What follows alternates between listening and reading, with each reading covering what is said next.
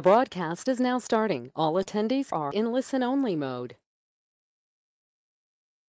Hello, and welcome to this first webinar of the Beyond BIM series.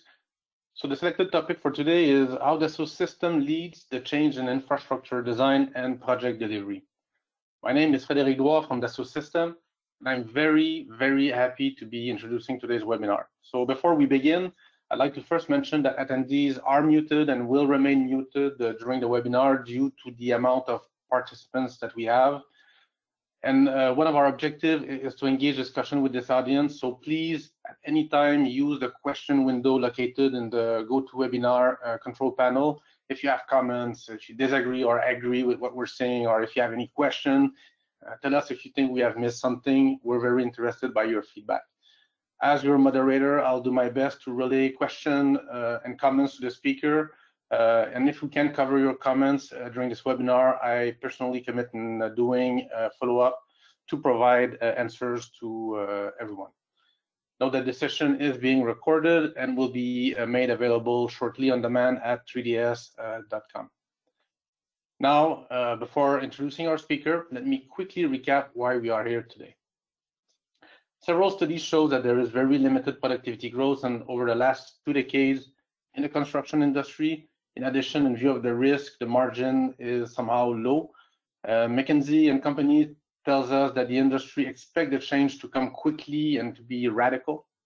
And today's speaker will explain how Dassault Systèmes is avoiding failures of the BIM concept, which is not able to manage the complexity of infrastructure projects and constant change you have to go through uh, during a project, so making the adoption of BIM uh, difficult and challenging. We will see how a real common data environment and data-driven environment opposed to pinpoint solution or document-based uh, environment is leading actually to redundant uh, rework. Our speaker will also explain how this real common data environment, or we could use a term platform here, uh, is not limited to a single project view or part of a process. It needs to cover all projects, a full end-to-end -end process. Otherwise, you actually limit the ability not only to manage change, but to ensure that everyone can contribute uh, in the platform in capturing knowledge, uh, sharing it, controlling it, reuse it, but also to make it actionable. I'll stop myself here and let our speaker talk to it and, and show also this audience what it means to go beyond BIM. So today, Kurt, um, Kurt Ameringer uh, from Dassault Systèmes will revisit for us the three items we have just seen, uh, which is really our opportunity here to transform the industry. He has great expertise and great understanding of the reason why pinpoint solution or this articulated type of platform failed in transforming the industry. As for Olivier Gallifet from SNC Lavalin, he will tell us how SNC initiated this transformation, uh, but also his story, what what was the benefit for him uh, in adopting uh, this type of solution, but also for his coworker, manager, uh, adopting 3D experience, Dassault 3D experience, which is a Dassault Systèmes solution.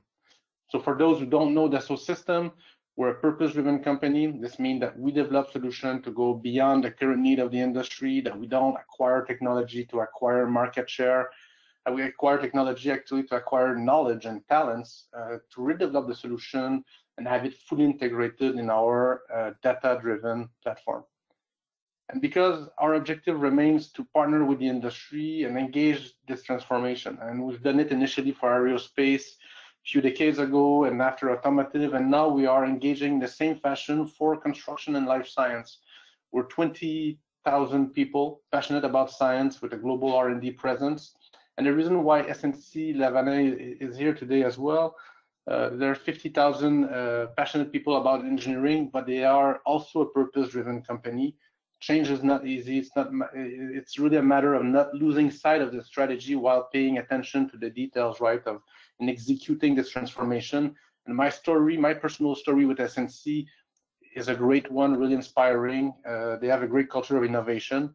And I thought it was interesting to highlight how they have engaged on the sustainability uh, topic which is a very trendy topic, but they took a very uh, pragmatic approach uh, to do significant change uh, and uh, leveraging the United Nations Sustainable Development Goals uh, that we're seeing here as a way to set objective and ensure that they can meet them through a significant and progressive approach.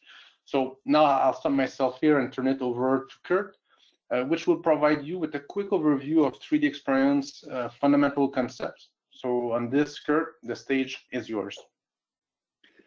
Excellent. Thank you very much, Fred. And as Fred mentioned, we're going to just do a quick kind of overview of the uh, the 3D experience fundamentals before I turn this over to SNC. And then we're going to circle back and see if we can answer some additional questions after that. But just as a quick background, when Fred mentions the 3D experience or this idea of a platform, I want to be very specific. This isn't just a a process or a solution for sharing files. Um, we have a very different way of approaching technology. And in that, all of the project data, whatever it may be, is housed in this integrated experience. And the compass that you see here on the uh, upper left of my screen grab actually navigates to all the various points or apps that we use to be able to manipulate this information. So again, if you think about opening a file in an authoring tool and wanting to be able to uh, manipulate that, you know, you have a dedicated set of tools that are purpose built in your point solution to author. Well, when we click on our West quadrants up here, we access all of the authoring apps that are available on our platform and we're able to populate that information. If I decide that I want to run through an analysis of that data, simulation of some sort, I can simply click on that compass again, going to the south quadrant and access a whole host of apps that change the tools that I'm working with at any given moment to enable me to be able to run through multiple types of simulation or virtual reality or whatever I want to do to to you know, query that 3D model. So I'm not writing out a file, I'm not creating an artifact, I'm not orphaning data at that point. I'm always working on the latest and greatest. And as I want to carry that forward and possibly go out and look at activities and tasks that are organized here, we can go to that north quadrant of the compass. And this is our collaboration environment. You can think of it almost as a social media type of approach to how we coordinate the information and activities that are happening on the project. And then if I move to my east quadrant, as I click on that, I get a wealth of information available to be able to go in and query everything on the job. So it may be all the 3D data, but it can also be the schedule. It can be the activities, the people involved, the history. All of that's available to us again in this one consistent, unified environment.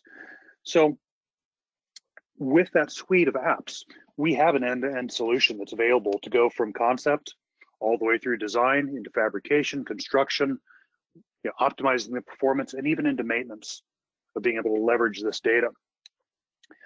But we also realize that you've made an investment, uh, an investment in time, and people, uh, process, the tools that you have today. And so we want to be able to consume that information. You want to be able to take the BIM that you generate, take the schedule that you populated, take the tasks, the activities, the cut sheets, in whatever formats they may be, and bring all that together into this 3D experience, at which point we can start linking it so that when you click on a piece of geometry, you're not just looking at the shape or the metadata, the attributes, you could even see where that exists in the construction sequence schedule, where that exists as a task of the decision tree that was made to get us to that point in the design. And really, we want to make this data accessible to everybody that's working on the project as appropriate to their task. So you can think about that as moving from BIM into what we've coined a digital twin experience on the 3D experience platform. And I think through the presentation today, you'll be able to see how we're providing flexibility and traceability to really limit the amount of risk that you have with whatever aspect of this process that you're engaged in, and ideally improve the way that you're delivering the specifics of what you're delivering to the project.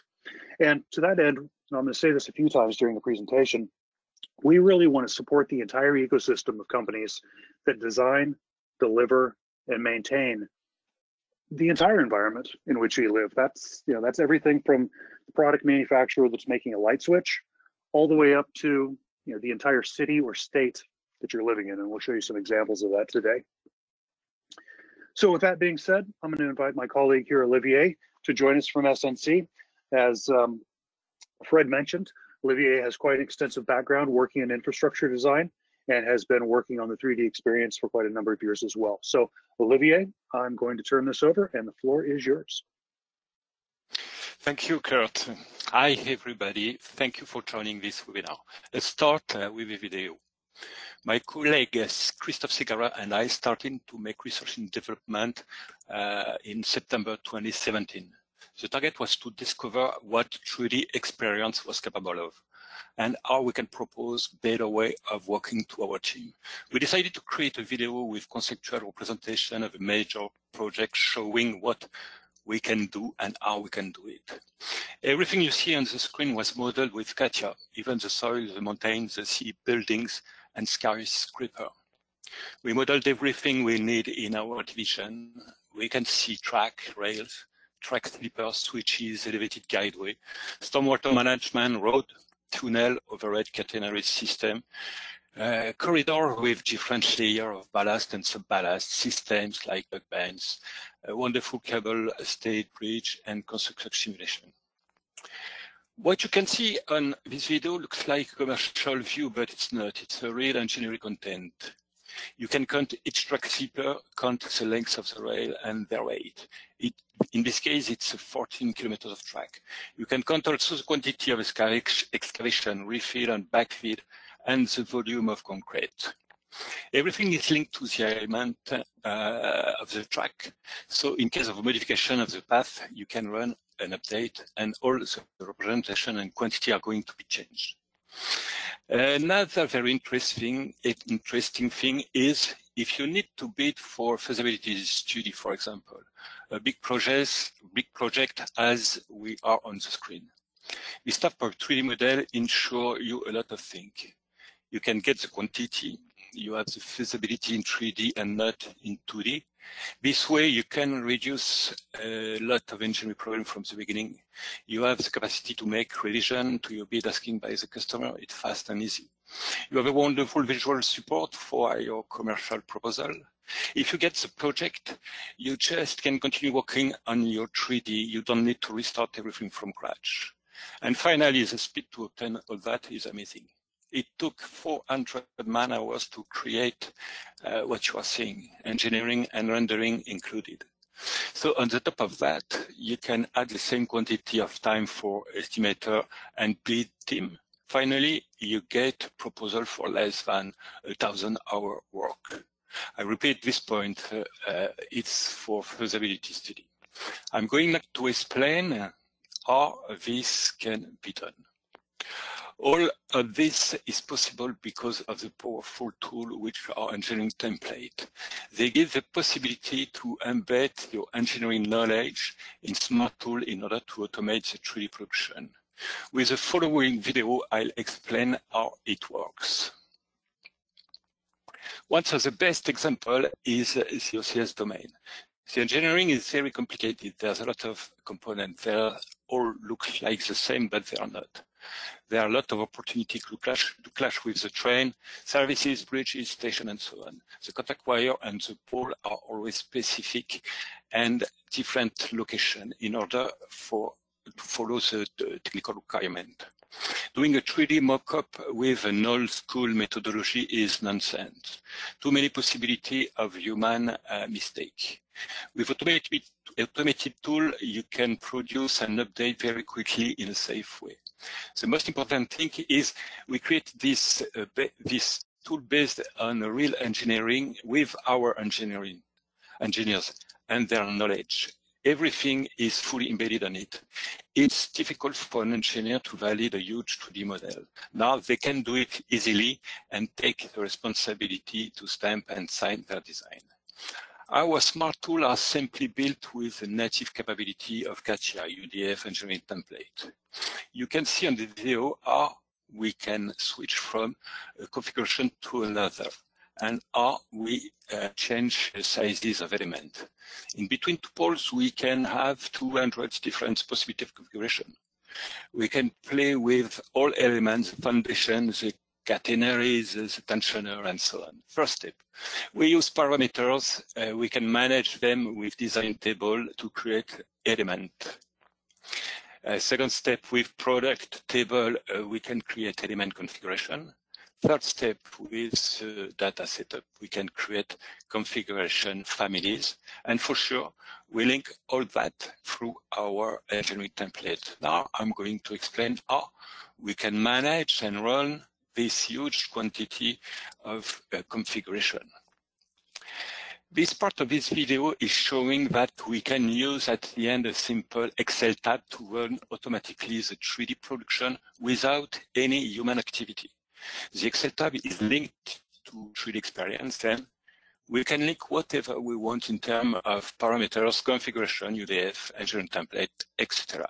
This means to initiate design, we no longer need a full design team to start a project. An engineer can fill out the tab and initiate all the criteria he wants to see appearing on the screen. Once the first tab is launched, we can uh, work on another one and CATIA produce the 3D in masked time. We can also integrate because we need for construction an automated creation of 2D drawing with bill of materials for each pole. Think about the time saving when we are talking about 2000 uh, pole or more OCS pole uh, in a project is very uh, it's very huge and uh, it's uh, amazing as gain of time finally. Now let's talk about other domain. After you can see on, the screen, uh, it's a drawing I just uh, talk about. So you just have to update the view. For each pole, just a simple update, and you obtain like 2,000 drawing automatically automatically uh, created.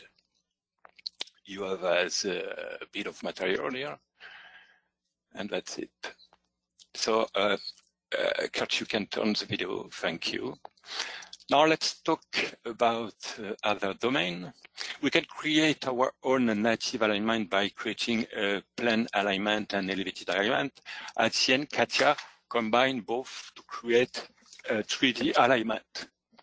I want to highlight that Dassault was supportive to our needs by creating a LandXML converter to turn AutoCAD Civil 3D alignment into native CATIA alignment superelevation and cant. My colleague Christophe has developed a manual way to obtain the cant. He shared a lot of his work with R&D Dassault in France, and now this option is available. TrackWorks. On the same approach as the superelevation, Christophe has created templates to produce corridor. Corridor is the area on which the track is installed, based on the alignment, the cant, and the terrain. The power of this tool is that you can all at once create different layers of materials with civil work, excavation, backfill, and refill. You can add anything that follows the track as needed. It could be that bank or piping, whatever. Erudi, we can easily change the level of detail of the exposed element. Remember on the first video, we were working on a feasibility study. At this step, we didn't need to uh, show a high level of detail. Now you win the contract. You can continue working on the same mockup and increase automatically the level of detail because it's embedded in your tool anyway. Structure.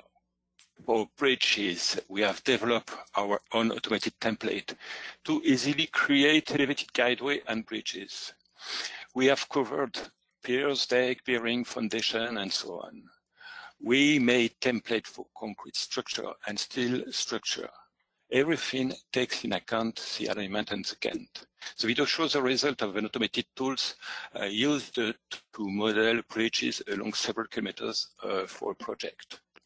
As I already said, because we are on a linear design linked to the alignment, the, the video shows now how CATIA manage modification.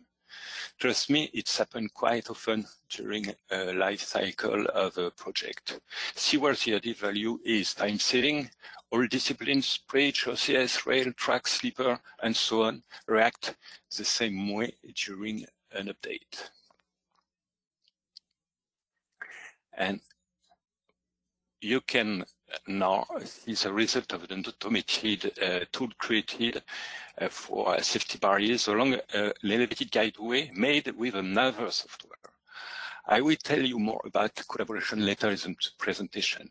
This part of this video is now showing how we can do complex automated tool with templates. The first point is that we can combine templates producing concrete and steel, for instance.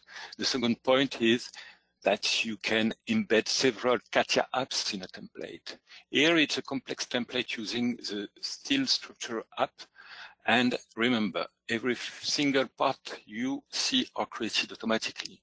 You can see the level of detail we reach and think again about time saving. The third point is if you can add, if you can add, if you want element coming from the piping or the electrical uh, app in the template.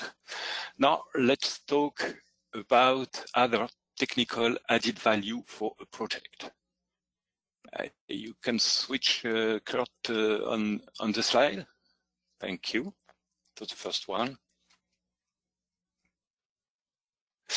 The possibility to load a large point cloud survey allow me to define the environment of a large existing underground station. The management of 2 billion points gives us, after meshing surfaces, the possibility to start our engineering for two tracks of 800 meters each and two tracks of 500 meters each. This from the beginning of the project. The first picture shows the reality on site. The second shows the point cloud loaded. The third shows the result of meshed surfaces. 3D experience is powerful to allow this kind of action with a 3D rendering good and accurate enough uh, to navigate and allow us to design in context. It was easy to select and isolate the needed area where we wanted to intervene. Uh, next slide, please, Kurt. And the, uh, once the environment is acquired, it's simple to start modeling and process dimensional analysis. I can highlight two added value. The first is we can define the elevation of the contact wire, the electrical train supplying, and be sure we have no clash with the environment then define which kind of work we need to do on this existing station in terms of track works, civil works, and concrete work. Do we have to demolish and rebuild the platform? Uh, do we have to change the height of the track? So many questions answered uh, quickly early in the design process. A huge time and money saving. The second added value is that several disciplines can start working at the same time early in the timeline of uh, the project and in context. Uh, next, uh, thank you. Historically speaking, uh, the design of uh, station started in 1930 and never ended since today. From the, the original 2D drawings, the existing uh, station 3D was made, and we got access to it a long period after the day one of the project. So time had come to do the clash detection. As you can see on these pictures, the design made in the context of the 3D station is not always relevant to reality. And the large point cloud assistance allowed us to do a double check and detect some mistake due to improper human action during the production of the 3D of the station. Once again, it's time saving, cost saving with a high added quality value. Next, please, Kurt. Construction came to us asking for help. They were not able to produce some concrete beam because of the complexity of rebars. Too many clashes in the rebar cage. The 2D uh, drawings provided were not accurate enough for construction. CATIA allowed us to create 3D uh, Uh, of complex rebar. And at the end, we extracted a new bunch of drawing to help them build. Because rebars in CATIA are made of engineering templates, they can morph based on surfaces references, and they can follow complex paths. It was easy to create variation of shape along the post-tensioning cables. It was also easy to copy and paste the rebar done and make it adaptable to other beam with different section. Again, it's time saving, cost saving with a high added quality value. Uh, next slide. As I have already spoken rather in the presentation, by using our smart tool for corridors, we can create junction of tracks with complex geometry of material layers and civil work. You can see uh, different colors showing the width and uh, the thickness variation combined. This is the same approach I did with OCS team. Here we work with TrackWork engineer to capture all the engineering for this domain and embedded it in uh, an automatic tool. Please remember again the first video, our feasibility study. When you use this type of template from the beginning, you can extract accurate data for quantity, save time at the creation, and a lot when you uh, want to update things. Uh, next uh, slide. Now some word to tell you about integration uh, in a project. Everyone knows the capability level of 3DEXPERIENCE as an integrated BIM platform, and we all prefer to work within a single platform. But depending on the project, organization or contractor, this is not always possible. The company uh, you need to work with don't necessarily have a 3DEXPERIENCE. With the following slide, I just want to demystify the legendary uh, complexity of CATIA. A lot of people think it's for aerospace only, and it's too complicated for AC. In fact, in fact, it's not. It's very easy to share and communicate with other software. On the project I'm working for, the integration is done in another software. Let's call it Software X for this presentation. On this project, I never face a problem to share data back and forth with our partners. Uh, you can switch, oh, thank you. On this uh, slide, you can see that uh, we can find 3D, uh, that we can find on 3DEXPERIENCE all the data necessary to do uh, correct design. And on the software X, all the imported element done in CATIA. You recognized on the previous picture the beam with this complex rebar and the bridge we saw before. You recognize also the OCS pole with cable tray for a substation connection. On this picture now, you can see rigid OCS in a tunnel station. The environment is quite crowded. I did the connection between uh, the electrical supply coming from the station cable done with software X, and my OCS done in CATIA. See uh, blue cables connected to uh, gray cables, for uh, example. I always do my clash detection in 3D experience between uh, discipline I want to. This way, I'm sure to deliver a clean 3D model for project coordination. Uh, you can switch, please. So uh, the last two following slide show interfaces with existing structure and OCS. It's uh, easy to help construction with uh, sequencing temporary works or and to simulate optional solution. You can extract quantity and compare them to find the best action to put in place. Uh, I think I have two minutes left for a short personal uh, conclusion. I'm not a software vendor. I'm just a 3D BIM modeler at SNC Lavalin. And I've just presented you, let's say, my uh, daily comfort of working. I'm the only OCS 3D modeler working for my team uh, in this project. I can manage all types of OCS. The additional equipment needed to connect them to substation. I covering uh, something like 50 kilometers and 19 stations. I always able to give more information to construction team, such as a list of geolocated points uh, for each uh, OCS support, even before the OCS supplier uh, himself start working on it. With a large uh, point cloud, I can see things that no one can see with uh, other software.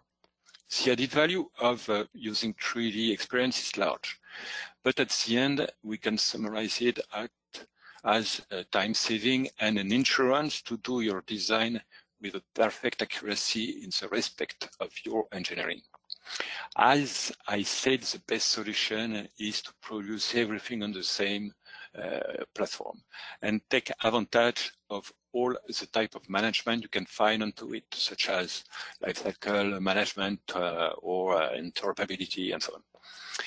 I covered it as a 3D uh, design aspect only, but there's so much more to experience can offer. Kurt will uh, broaden the scope from here. But I would like you all to remember these uh, three key points from my presentation. Uh, design automation improves our speed and quality. We can manage 3D complexity at great scale, uh, recall 50 kilometers of track. The integrated environment helps with collaboration across our project team. So thank you uh, for your attention and I hope my presentation will help you to see that this is real and available. I hope uh, you will now dare and be curious to uh, learn more about uh, 3D experience. Kurt, the stage is all yours. Thank you. Thank you, Olivier, and I am continually in awe of the amount of uh, work you're able to get accomplished here and the level of detail at which you're working is just uh, astounding time and time again. So thank you very much for sharing your stories with us today. So as Olivier was showcasing some of the uh, the process and methodologies that they're able to deploy at SNC, um, there's a lot more that we could be talking about today from again collaboration, uh, simulation, and analysis, analytics, from the standpoint of time, I thought we could take the next few moments to kind of look at almost a day in the life, if you will, of how we're able to take advantage of this uh, automated engineering at a level of construction or even manufacturing detail. And talk again about that idea of the scalability and complexity that we're able to manage. But I want to focus on this idea of collaboration and how that might look moving forward. So if I were to launch the 3D experience, I want to keep you know, keep in mind that we're talking about this compass and again, the ability to navigate. And so as I start off with this, you can see here the compass sitting in the upper left corner. It tells me that I'm sitting on my dashboard. And this actually is where myself and the other uh, 20,000 passionate co-workers at uh, Dassault Systèmes start most of our mornings. We actually use this technology and this process in our day-to-day -day activities. So as Fred and I are comparing notes and sharing information about this, later in the week, we'll be populating that information into this environment so that it can be, again, shared with the rest of our team. But just starting off here, as I'm on my dashboard, I'm actually looking at a project breakdown structure of all of the different components that are uh, available in, in, this given model. And you can see the 3D visualization as well. Uh, this is available in a web browser, so you can launch it from your desktop, you can launch it from the cloud, however you choose to, but you don't have to necessarily have the authoring tools to be able to consume the information. And so as I'm looking at this, I'm going to coordinate with the rest of my project team. And so starting off, we have some issues that need to be addressed. Um, out of the gate, I'm just going to create a blank issue. This could be populated from a template, again, so we can start uh, ensuring consistency in our standards and our communication, which you know, provides it to be invaluable three years from now when somebody comes back and there's a surprise on the project and we want to figure out exactly how that, that happened. Well, from here, we can create that issue. And simply by then defining what the task is, we type that in. I'm going to, you know, much like we would in an email, start the conceptual design phase of the project. I can then identify a priority. You know, where does it fall within the scale of how quickly we need to get to it? I can associate a due date and then add, add whatever additional information I want. Because we're in the 3D experience, it's not just an email. This is actually all of the information necessary to potentially do my task. So in this case, we've selected the assembly, the components, the sub-assembly, whatever elements you want, and associate the, the activity. So now rather than maybe getting a screenshot with some red lines on it or some written instructions, you can go to this location, I'm populating that, that kit of parts to address this task. And then I can identify a, a responsible party and send that information across, at which point I now have a pending issue that needs to be managed in some capacity.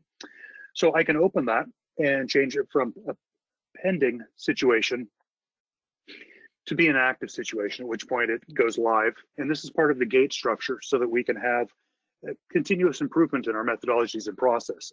As we move through the activities, we can send it back for review. We can push it forward, pull it back. Again, have that traceability and that methodology of managing our deliverables. So from that standpoint, my colleague, who is across town at his home, another state, another country, shows up and sees on his dashboard that he has a series of tasks that are due. And so simply, again, by selecting the task, he gets all the information that I populated. Who put it together, when it's assigned, what specifically it is. And by activating that, it automatically carries all that additional information. So again, I don't have to go searching to figure out exactly what it was that I'm I need to be working with. As soon as I see that task, I have access to everything necessary to engage that. So at this point, again, I'm looking at this from a browser standpoint, and I can see the geometry and the components necessary to be addressed. So given that I've been asked to start the conceptual design phase of the project, I might do something like launch our X-generative design solution. And this is a, again, native application on the platform. It would be accessed from that west quadrant, again, that I mentioned earlier on the compass. And as you look at that compass, again, you can see now we're on our dashboard and we're you know, in an engineering environment. But as you look across the board, you can see that 3D Generative Innovator, which is the name of the actual app that I'm now using.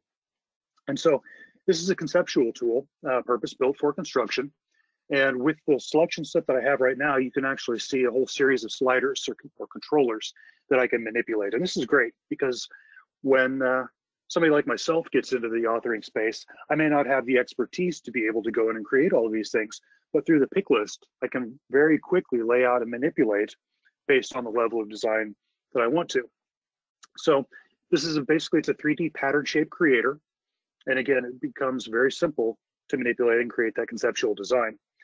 Um, I may not have mentioned it is a, a native web app. So this is actually available in my internet browser. I don't have to have any local hardware installed. And I just simply go to the 3D experience and launch the app and I'm authoring. And that enables me to create really a, a library or content of intelligent components. So we're looking at component-based design. As I look at that alignment running down the center of this, this bridge, all of these components are being attached to that alignment. And in the process of design, we're actually creating templates that can then be reused downstream.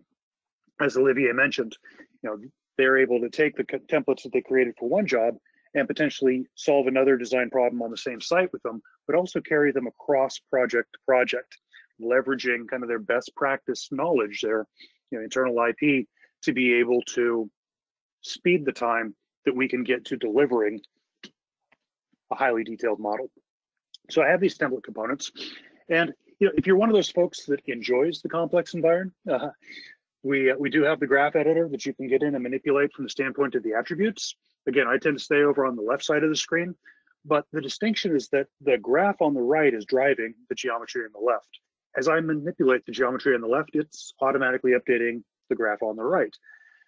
And I'm not having to do any kind of a synchronization or baking or updating process. All of this is happening in real time as I'm manipulating. So I have the flexibility to work where I want to with the appropriate tools to deliver the results you know, that I want to get. So I'm not constrained to having to do something in a given environment. And quite frankly, we could even go so far as we suggested earlier to import geometry or tasks or activities that were populated in other tools. Again, be able to link that together. So as we come back to this environment, you can see here again where we're now looking at multiple kilometers of uh, of the site. Again, this was modeled natively on the platform, but it could have been imported from another tool. We're able to then identify that alignment and start um, you know, carrying our information forward. Now, at this point, we've actually stepped into a, a higher level of detail within the, the app that we're using. So one of the nice things about the um, design is it's very light and very fast as I want to be able to then add additional load, I'm not constrained by you know, having to continue in that space. I can change the app, and again, it changes the tool set around what I'm doing. So at this point, I can leverage those smart components that we created to be able to apply those to this alignment and carry more information forward. And obviously, we still have access to all the parameters to be able to manipulate this however we choose. And that can be, you know, the entire collective or individual elements. So as I'm looking at that, you know, here we're making a sweeping change across the uh, the length of the deck segments, going in and changing the variable section information. So you can see where we have a consistent bottom here. We simply change a parameter and it updates that global constraint across all of these elements. So running through multiple design iterations becomes you know quite seamless. And most importantly, from my perspective, is while I'm doing this, I'm not stopping to save off a file, to create an artifact, a snapshot of a moment in time. Uh, I have traceability down to the attributes of all the objects.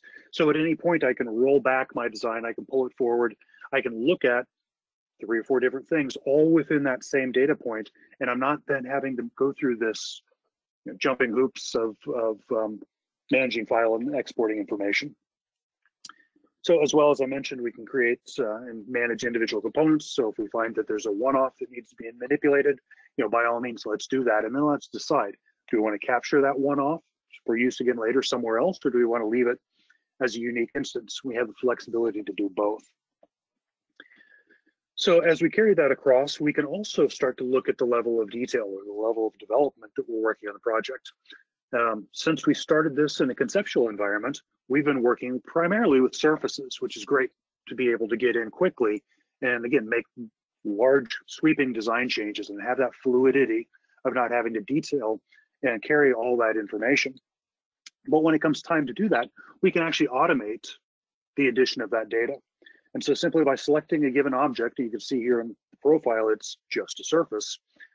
I can automate adding the actual physicality to that. So we've applied a template that says this is a concrete element, and you can actually see the level of detail is increased, where now we're looking at the sloping components of the bridge deck and so forth that aren't in the attached components.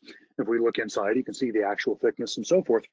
And all of this is based on those kind of engineering templates that we've assigned. So we take our best practice information that says, you know, we know from history and we know from the tables, this is the size we need to get.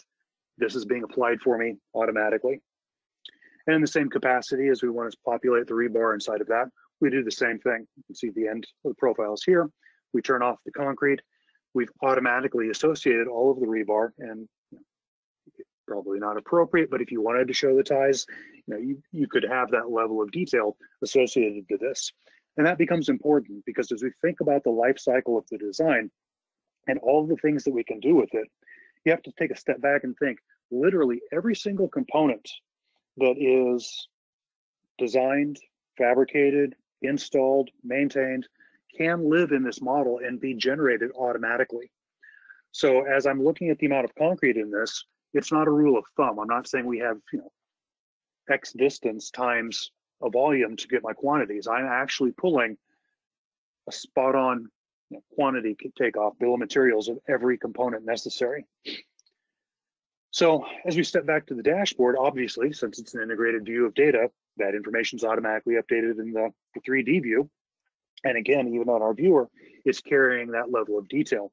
And so we can drill in from, I think we said 44 kilometers of rail earlier, all the way down to the connection of two pieces of rebar and have that level of detail, that scalability all in this environment and not have to rely on, again, extracted quantities and, and pieces that are broken off so that we can articulate a higher level of value. So at this point, my colleague has said the conceptual design's done. Not sure about uh, these things on the layout, but hey, we we assumed three meters for for this breakdown, and you know, here's the design. So my colleague now, back on the other side of the uh, the fence, gets the update, and now he has a task that's been assigned to this activity. And you can get the feedback. Hey, conceptual design's done. Not sure about it, but we're looking at the three meter depth. Well, as Olivier hinted at earlier, uh, the unthinkable changes, and uh, you know there is a design change. And so they've come back after a structural review and said we only need two and a half meters. We can you know, eliminate the use of material. It's going to save on costs. This is what we want to do. So that then gets acted, sent back, and communicated. In this case, it's, since it's a change, it's always of a high urgency and then we have a new date associated for that uh, that return. So at this point, back on the design side, we get that update. We have you know, the option to send an email in addition to updating the dashboard, and we can start uh, looking at all the tasks that we have here. So at this point, we can note the comment after review, we need to change the depth. Okay, so we go back. And at this point, we're going to modify the pattern. And so looking at this, you can see where conceptually we downgraded the level of detail on the concrete. We left the steel here just for visibility, but you have that ability to be able to go from a level of detail 200 to level 500 down to 300 back up to 400 over whatever is appropriate for the actions that you're taking and the people that you're communicating with. So at this point, we're going to select and apply that new pattern to shorten the depth. And you can see where that's happened now. And again, because we left the steel alone, you can see the distinction of that half meter. Well, we could have done this together in one step, but it's a simple matter now after the fact to come back in, apply a new pattern, and have that update again automatically to, to recalculate all of the context of the, of the structural system of the rebar in this case to update with the new depth that we have. And again, as we look to the interior, you have every single piece necessary to be installed. You have accurate quantities, even down to a removal of the voids for the concrete. And as we're carrying that or sharing that information back, we can actually create a series of, if you will, 2D and 3D markups to share with them. So in this case, the 3D markups are creating snapshots, if you will, but the snapshots are linked again to the model. So we're always going back to that camera point, that vantage point, that you know, that view to be able to make sure that we're in the right place to do the right thing with this information. So by creating a series of, of these captured views, we can add annotations, add whatever information we want. You know, job's been done. Take a look at this uh, this depth, this layout, this space, whatever the case may be, and link that back into my task.